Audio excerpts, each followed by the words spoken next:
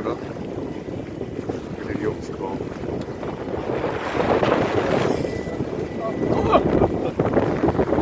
Die Richtung.